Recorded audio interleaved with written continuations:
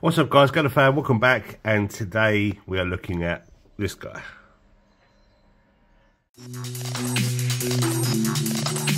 What was that? I am a Gundam. Okay, cool. so today we're looking at the Oniwaka Kiyomori, um, which was sent to me by the amazing Lillith Rae uh, as a streamer. Link, link is going to be below. Really, really appreciate, really, really appreciative of them sending me one down to check out.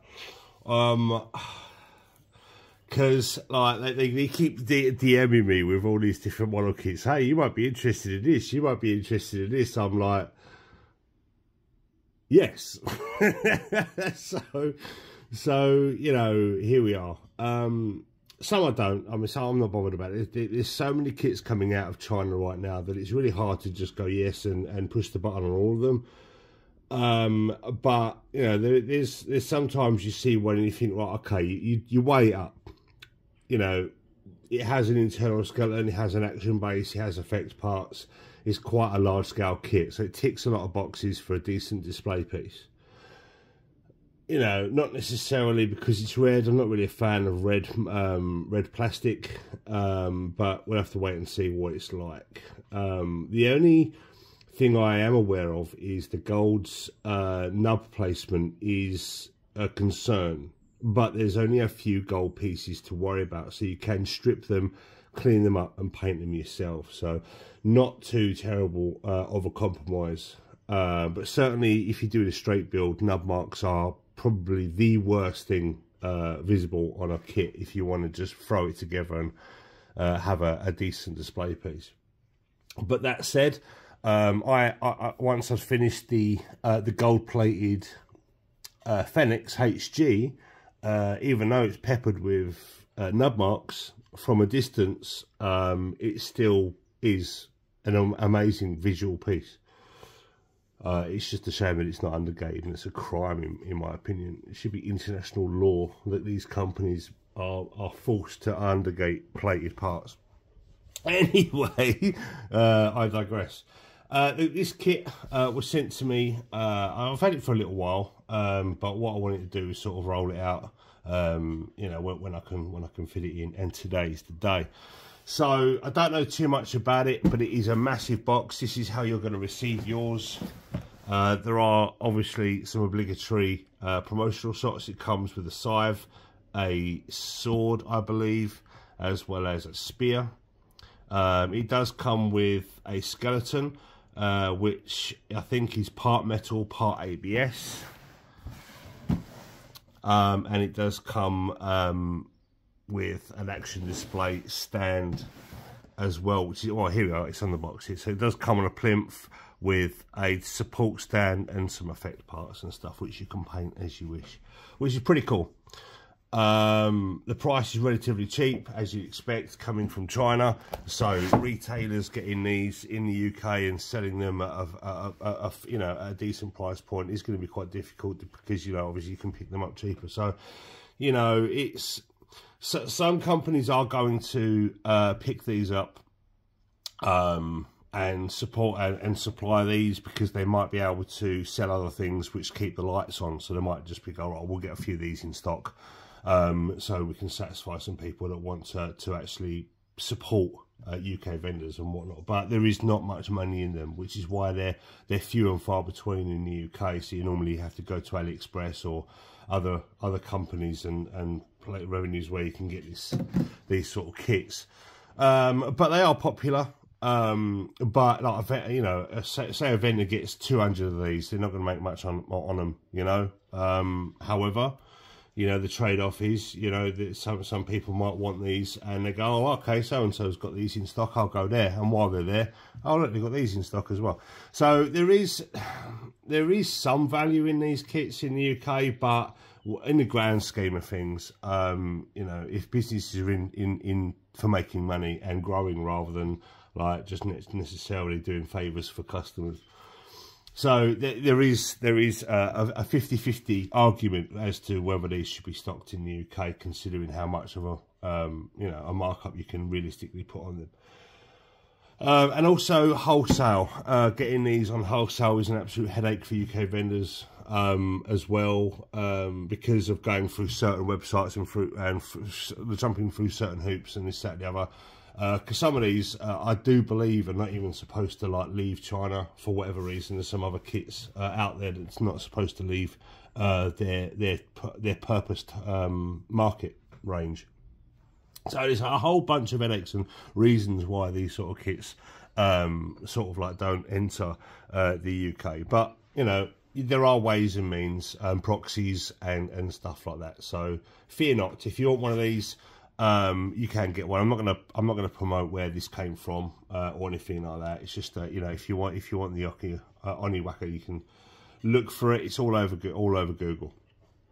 Right, okay, without further ado, uh, I don't know too much about the origins of the look uh, in terms of demon lore or anything like that, but obviously it has got a, a demon-inspired uh, aesthetic because uh, it's got two ghost heads and a demon chest, and I think it does come with various faceplates as well. Uh, it does come with knee pole drivers, uh, pile drivers, sorry, and various other weapons and shields and, and, and whatnot. So we'll get through the pieces in a minute. Um, if you got this far, please, please leave a like. I really, really appreciate it.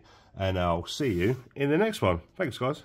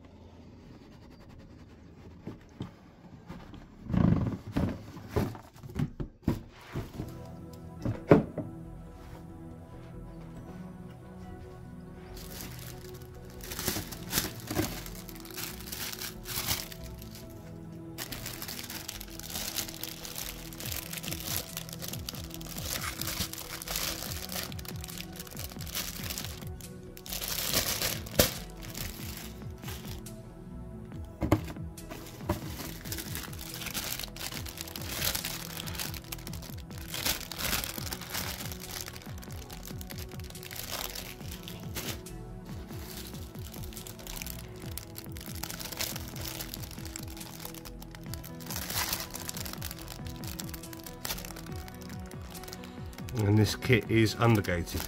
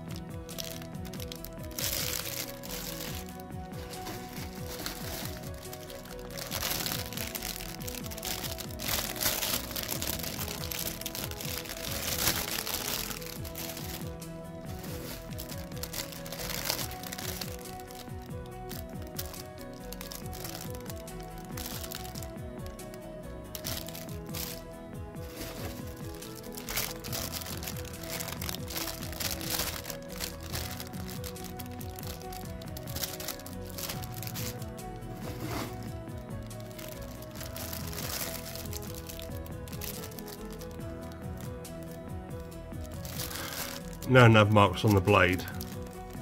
Love to see it. Absolutely love to see it.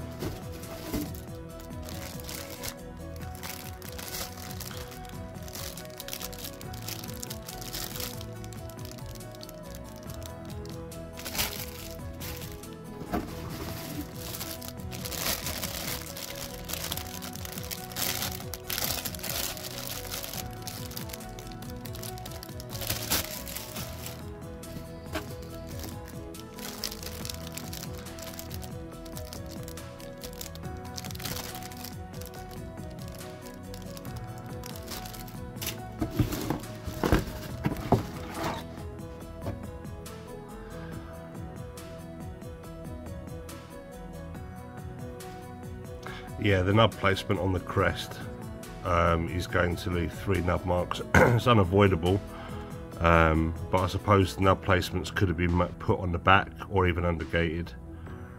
Um, it, all it would have taken was to sort of move this injection port here, just undergate it onto the piece, uh, just edit the um, in the 3D CAD or whatever it is, just just to you know when you when you know when you 3D print stuff on Chitubox or whatever, you can move the injection port by, by the angle.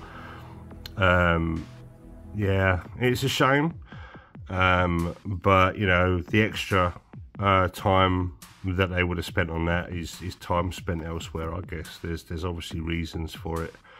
Uh, but yeah, sadly, um, there are going to be nub marks on this uh, plastic because um, it does look like it's not injection injection color um, but look, looks like it's been painted like the whole sprue's been painted.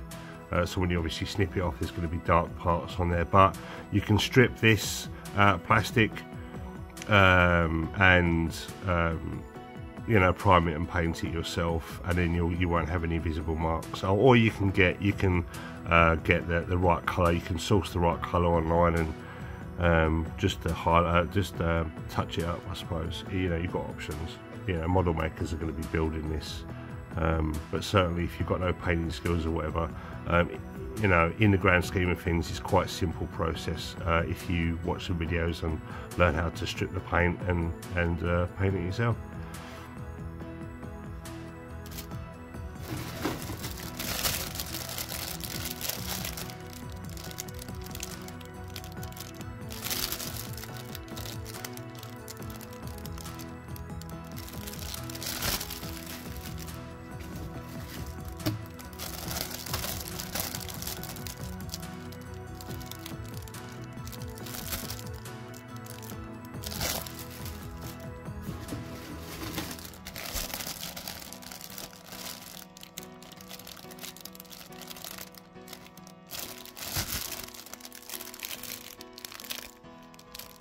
Has come with various posable hands, expressive hands, fists and holding hands, which is nice. However, I am a huge fan um, of the wing style or seed style hands where the, you don't you're not continuously depegging the wrist the whole hand piece stays the same and you just swap out the different fingers for various poses I think it's a much uh, more economical system. You don't have loads of spare parts lying around, and also pulling out the, the ball joint out of the wrist is less stress because it's fixed in there all the time. You're just swapping out the finger options. I do believe that's a very, very good way of doing things. It's more sturdy.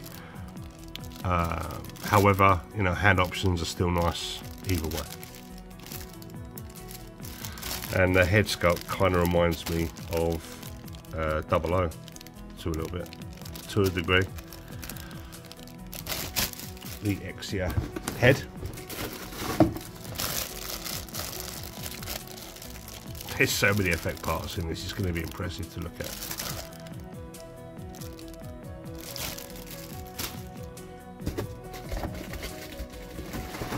Now we're getting to the action base itself, which is a nicely moulded, uh, although it's quite soft, it kind of looks like um, they've like got a bit of clay and then they put a plastic bag over the top of it and they sort of got a pen and like you know and did this and then they took that off and then made the mold uh, out of that.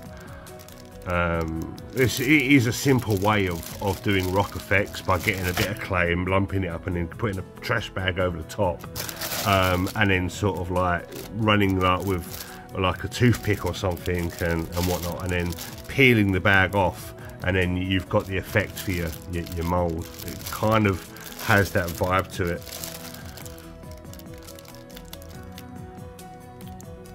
Uh, but yeah, you can paint this, prime this, uh, dry brush it, um, add effects, um, and all sorts. I mean, it's got cracks in it, so you can even do like a magma effect um, if you wish, or an ice effect.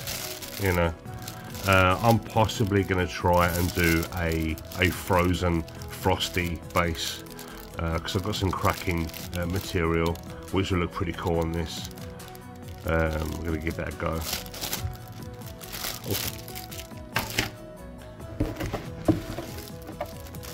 And the stand is quite chunky as well. I mean, look, look at the base, it's, it's, quite big, it's impressive. That looks like, what, 10 mil?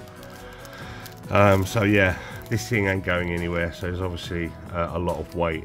And there's minimal detail on here, um, but it's enough. It'll get the job done. And finally, the skeleton.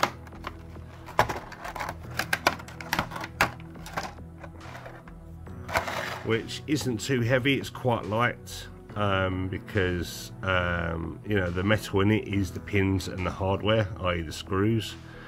Um, but some places uh, it does need a little bit of loosening up, uh, just unturning the screw, if, you know, if you can.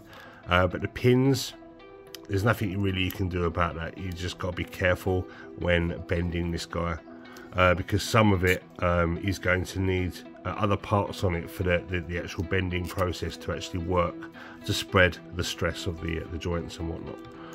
But in terms of the proportions, it's all leg.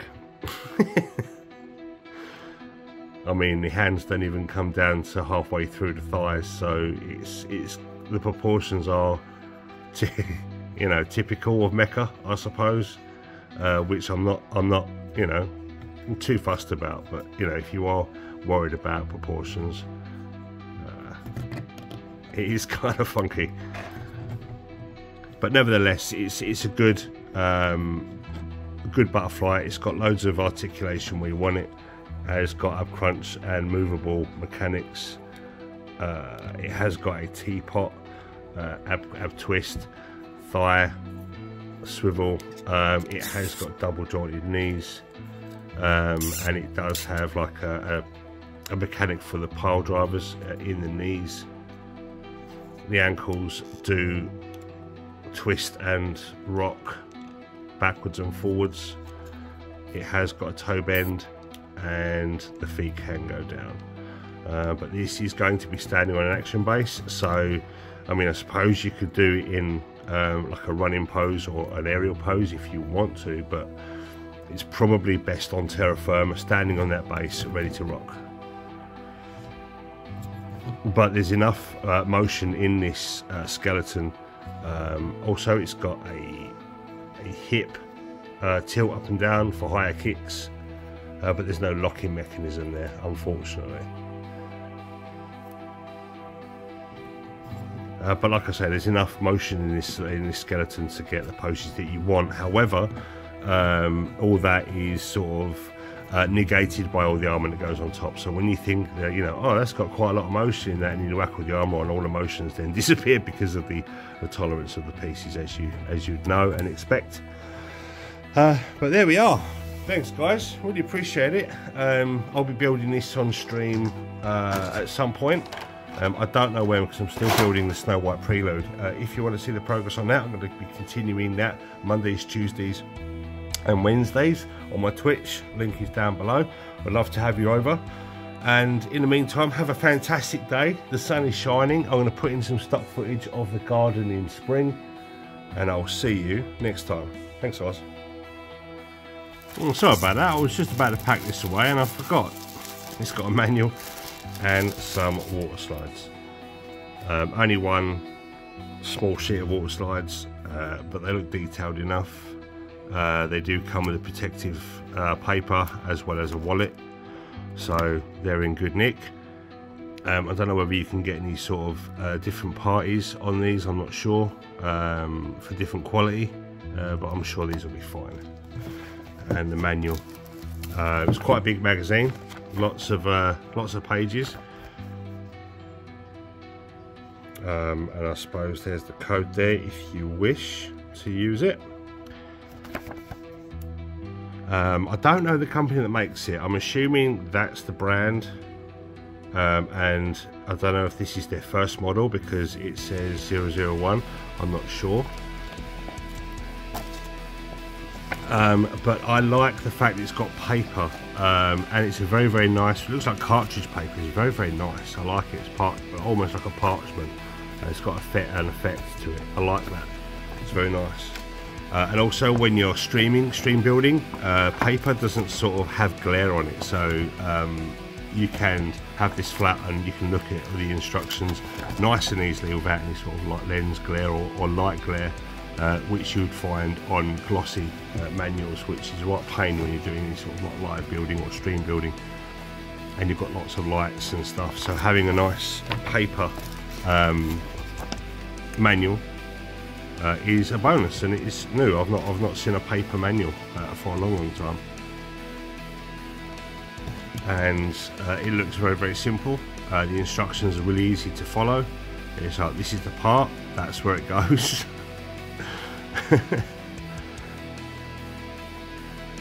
and also it does have numbered steps in certain areas so that's good because uh, I'm building the Snow White Prelude at the moment and a lot of the steps are up for interpretation when, when you're looking at the instructions you're like what now and then when you, you, you, put the pieces together you think oh right so you've got to have a sort of uh, you've got to sort of preempt how, how things go with a little bit of a little bit of brain brain power.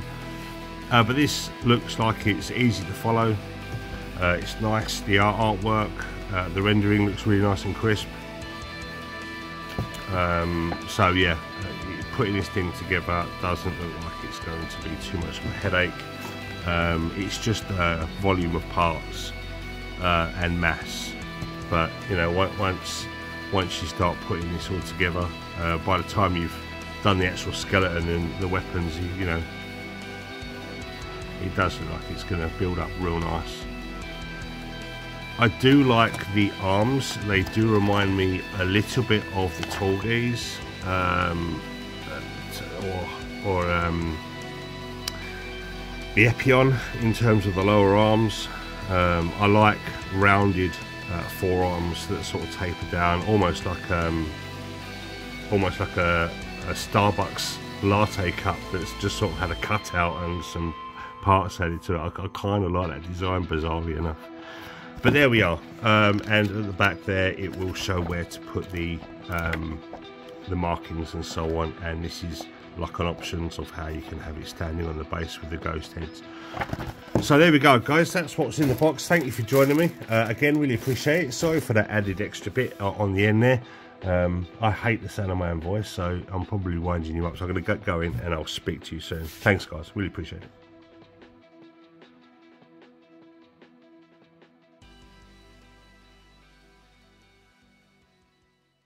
Cause I have 30,000